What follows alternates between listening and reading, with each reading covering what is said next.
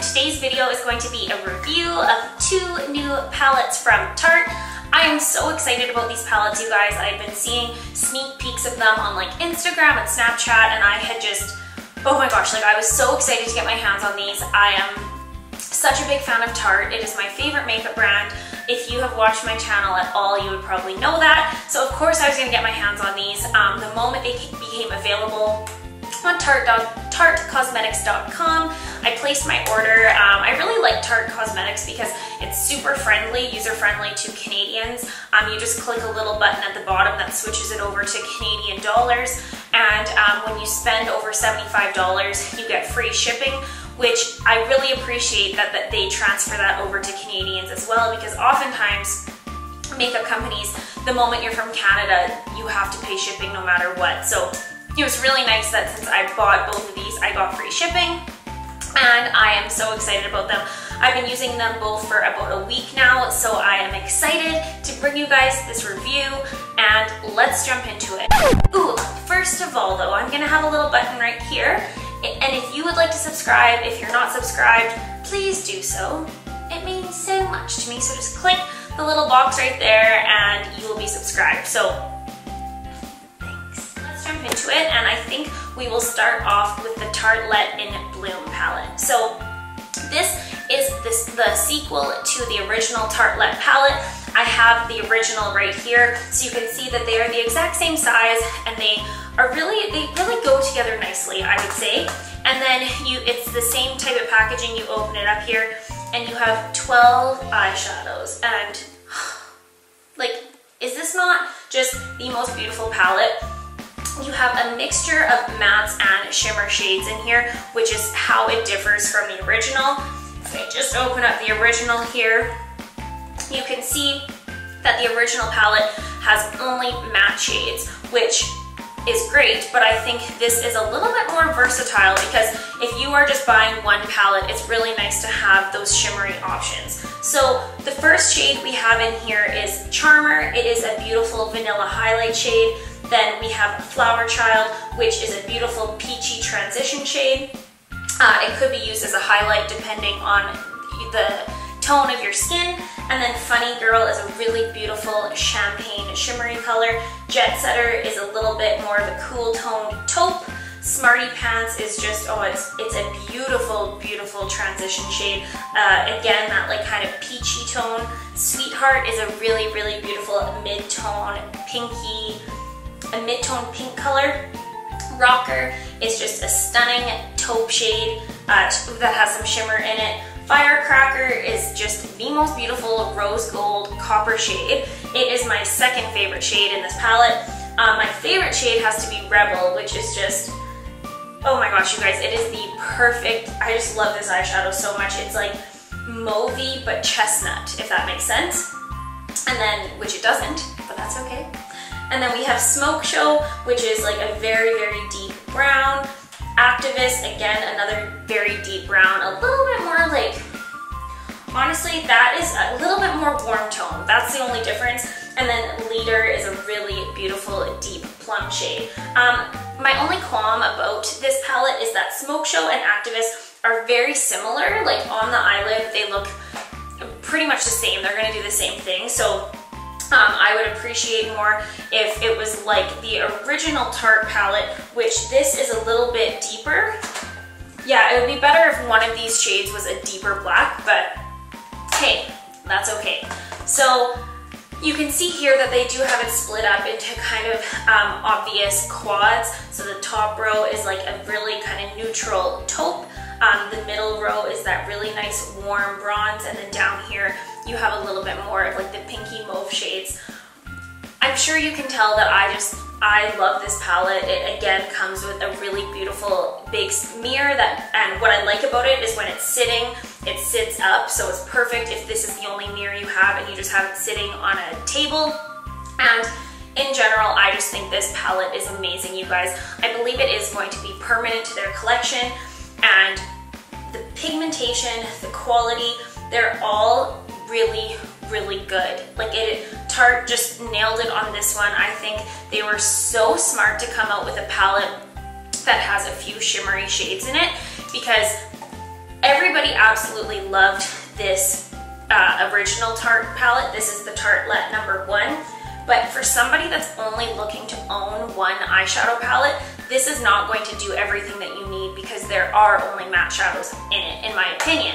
So when you have this palette that has a few of those shimmery shades in there, it really well round, it really makes the palette well rounded.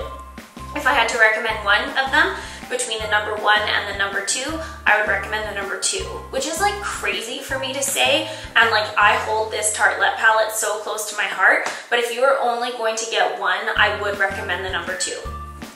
So all in all, this In Bloom palette is amazing. I think it is just a neutral lover's dream.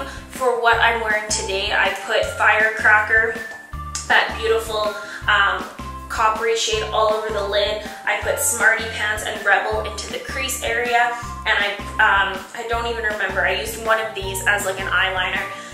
And this is a highlight shade, so in general, you guys, like, I cannot say enough good things about this palette. It is great for travel, and I love it. I really do. I really, really do. Moving on to the Tartiste Contour Palette um, Tartist, Tartiste, not sure. Um, it comes in one of the Tarte disc formats, which is what like their Tarte Showstopper palette is, the uh, Rainforest palette. Um, they have a few of these. I did notice that this one is a little bit thicker than those other palettes, but I do appreciate that it is the same disc size because it makes it nice and easy when you're like stacking them. And it has a really sturdy closure on it, which is nice. You open it up here and it has a big mirror and then you have the actual contour shades here. So they have them split up and they have them numbered.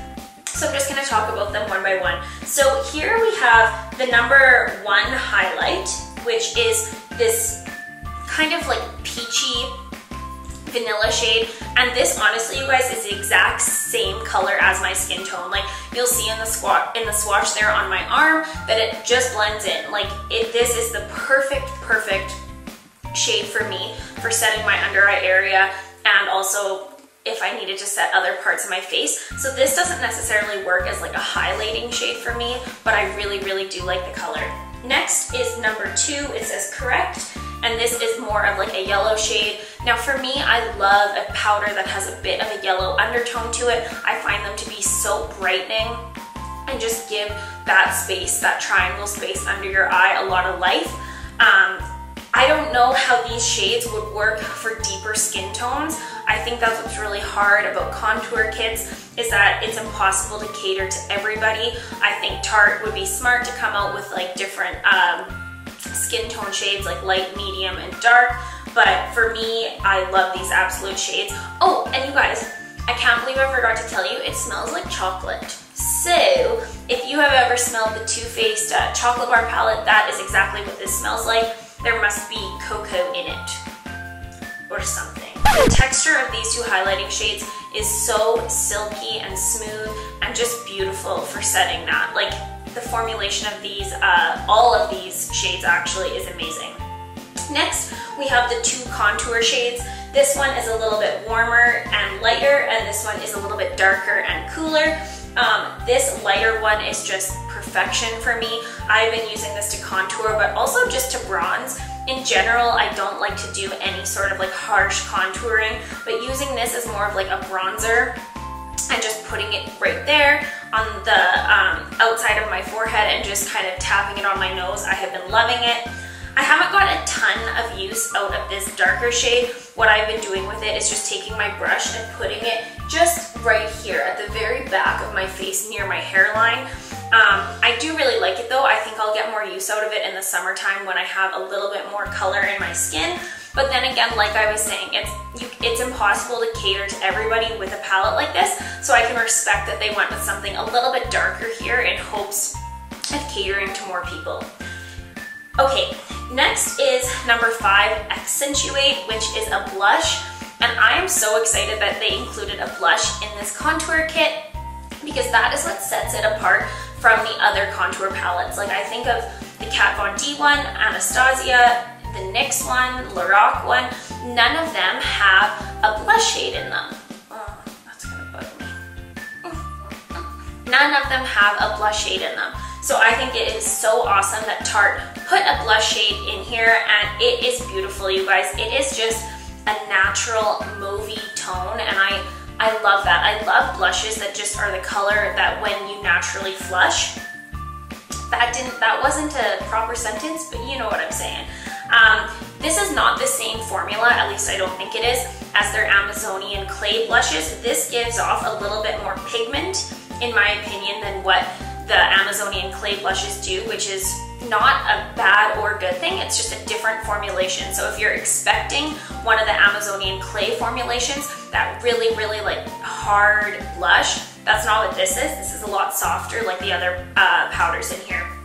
Now, the one shade that I'm not, I don't wanna say that I'm not impressed with. I just feel like my expectations for what this shade was gonna be are different than what it actually is. So I was expecting a really, really beautiful, creamy, pigmented highlighter. That is not what this is. That is not what this is. This is basically a translucent setting powder that has a little bit of like shimmer in it, but not a lot. So it is reminiscent of like the Laura Mercier Secret Brightening Powder and it's beautiful. Like I like it just to mix in. I use both of these shades for my under eye and mix a little bit of that in and it just brings a little bit more of life to that space rather than just looking really matte. And I do really like it, but it just wasn't what I was expecting. I would prefer this shade to be a really, really creamy, pigmented highlighter to use on your cheekbones, but that is not what this is. And I don't think that was the intention of it, and I don't know why I expected it to be that, but regardless of that, I still love this palette. I love that it is so easy to use and unlike some of the other contour shades, contour palettes where they have so many different shades and it be can become overwhelming with what um, shades to use. I love that they have two contour shades, two highlight shades, a translucent powder and a blush and it's just a no-brainer. So all in all, I love this palette as well. I think it is just so aesthetically pleasing. I love the packaging of it. I think this would be amazing to travel with as well. Whenever palettes have that kind of uh, closure that like locks, not locks, but you know what I mean. Like it just, you know, you know that it's not gonna be opening and flailing everywhere in your bags. So I love this. I think Tarte did an incredible job with both of these palettes. I highly recommend both of them. If you're good, maybe Santa will bring them. I'm going to have all the links down below where you can get it. And yeah, all in all, big thumb, thumbs up for these. Tarte has done it once again. I hope you guys are all having an amazing day. Please subscribe if you haven't already. It means so much to me. Like it really does. It does. I hope you guys like this video and I will see you in my next one. Bye. Hey guys, today's video is going to be a haul video. I went to the Sephora VIB Rouge event that they had at my local Sephora last week and I picked up a few things so I wanted to show you guys what I got. I didn't get too much. I didn't go too crazy. So